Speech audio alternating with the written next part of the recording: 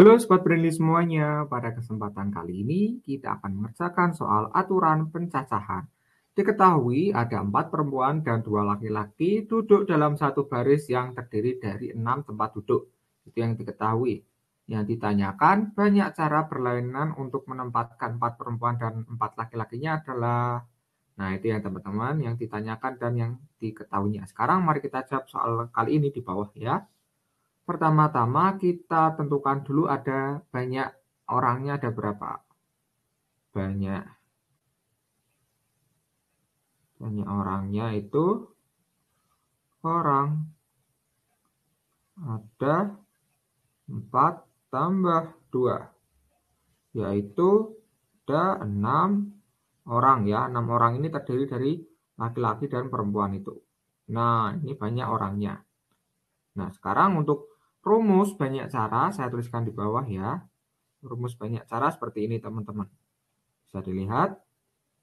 Banyak cara, rumusnya itu rumus banyak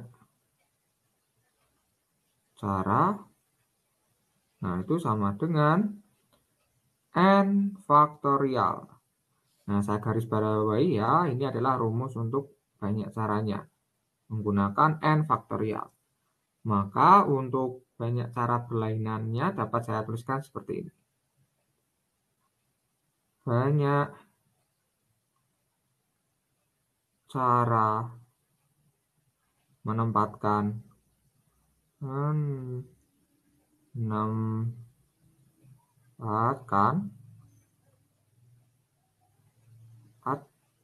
kan nah seperti ini teman-teman empat. Perempuan. Perempuan.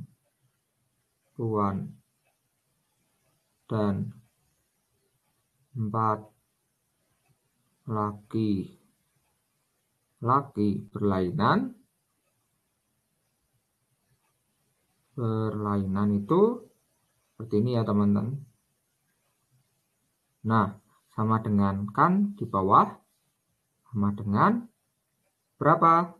N faktorial, di mana N-nya itu adalah 6 ya, karena totalnya itu 6 faktorial. Nah, 6 faktorial ini adalah 6 kali 5 kali 4 kali 3 kali 2 kali 1. Seperti ini teman-teman, sehingga alhasil ditemukan jawaban akhirnya sebesar 720. Nah, 720 ini merupakan jawaban akhirnya teman-teman atau banyak cara menempatkan 4 perempuan dan 4 laki-laki berlainan.